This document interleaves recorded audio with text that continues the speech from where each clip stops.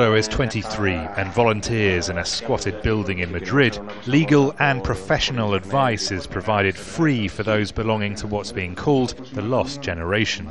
Like the majority of young Spaniards without proper jobs, Eduardo's future looks tough.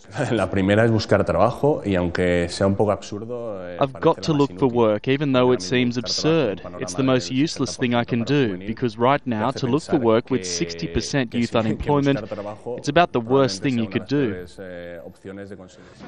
How to tackle such a high youth unemployment rate is a huge problem for the government. Tax breaks are being pushed through for both employees and employers, but economists aren't too hopeful.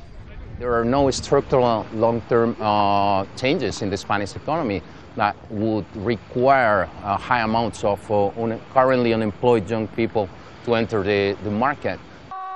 Economic malaise and unemployment is fast eroding what faith Spain's youth might once have had in politicians. One of the main reasons that spaces like this have been set up is that young people here in Spain feel like they've been abandoned by the government, that state help is so minimal that they have to do it themselves. It's not like that everywhere in the continent. Germany has a very different model, as my colleague Nick Spicer can explain. Here in Germany, young workers are nurtured with work study programs which keep youth unemployment at a record low for the European Union. 25 year old Lasse Scheel wants to lead a team of landscapers, so here he's learning about management.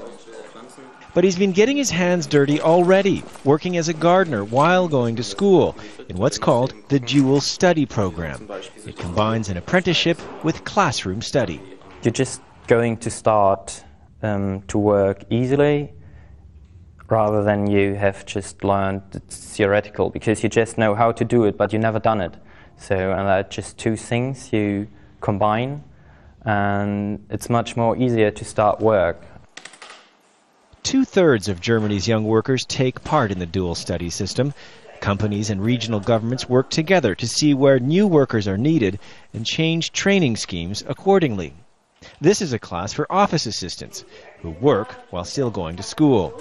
Many get hired by the companies where they do their apprenticeships. Yeah, definitiv. The German model should definitely be exported. I love the mixture of school and work.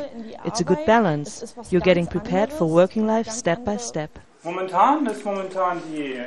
Germany's only youth employment problem is not being able to fill some apprenticeships, a problem countries such as Spain can only view with envy.